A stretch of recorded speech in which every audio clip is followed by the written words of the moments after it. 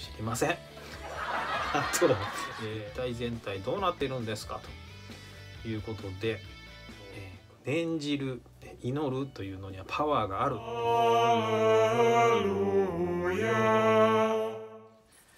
はいどうもチャンネルアリューです。えー、今日もですねいただいたご質問にお答えしていこうと思います。はい。で今日ご質問をくれたのは、えー、東京都在住、えー、現在ハワイ滞在中の、えトミーさんからのご質問。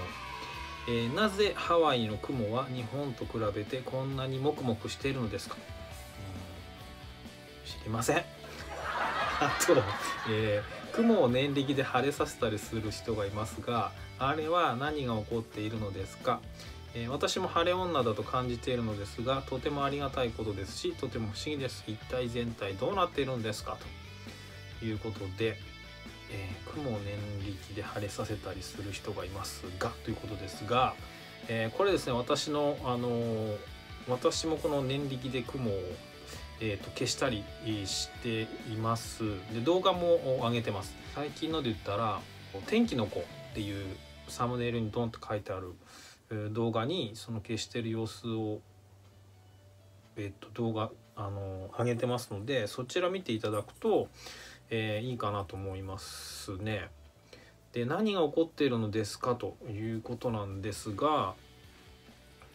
ま、おそらくこの人間のご思念と雲のこのモヤモヤっとした感じなのが、えー、まあ、つながりやすいのかなという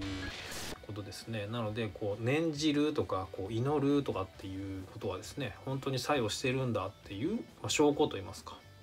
えー、一つのまあねそういう見方もできるんじゃないかななんて思うんですけどもどうなってるんですかと、まあ、まあ、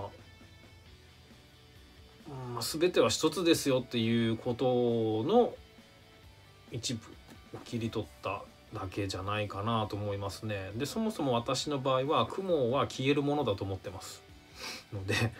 あのこう、ね、念じれば消えるものだと思ってるのでそれがまあ現実化している、うん、のかもしれませんよね。はい、まあなのでこう念じる祈るというのにはパワーがあるっていうそういうことじゃないですかね。ちょっとまとまってるのかまとまってないのか分かりませんが、えー、そんな風に私チャンネルアリュー個人的には、えー、思います。ね。参考になりましたかね。はい。ということでチャネルアリでした。